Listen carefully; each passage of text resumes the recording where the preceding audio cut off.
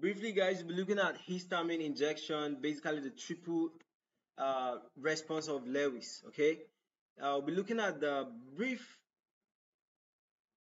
things that actually occur when you inject histamine into an individual okay?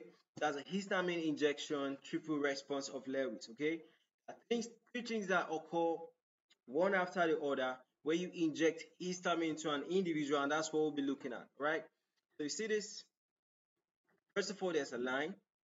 Secondly there's what? Inflammation around. Then thirdly there's what? A white line okay? So each of these things actually have uh, a characteristic name it is called by okay?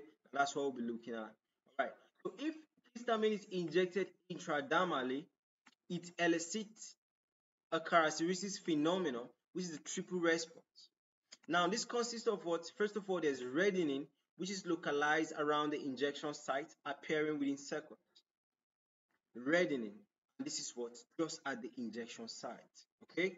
Secondly there's a flare or red flush extending about one centimeter beyond the original red spot and developing more slowly.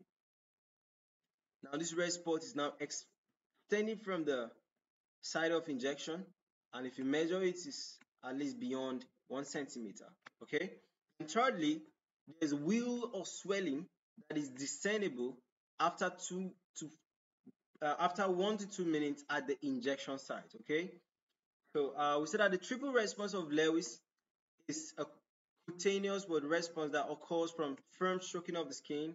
And in this in this uh, aspect, you're talking about histamine intradermal injection. Uh, it produces an initial red line followed by a flare or red flush. Okay, around that line, then finally a wheal, Okay, a wheal is this okay? will. Basically, the red flush reduces and you see a white line there.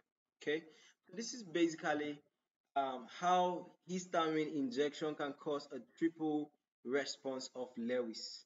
Okay, histamine intradermal injection causing triple response of Lewis Okay, so guys, that's it, and see you guys uh, soon.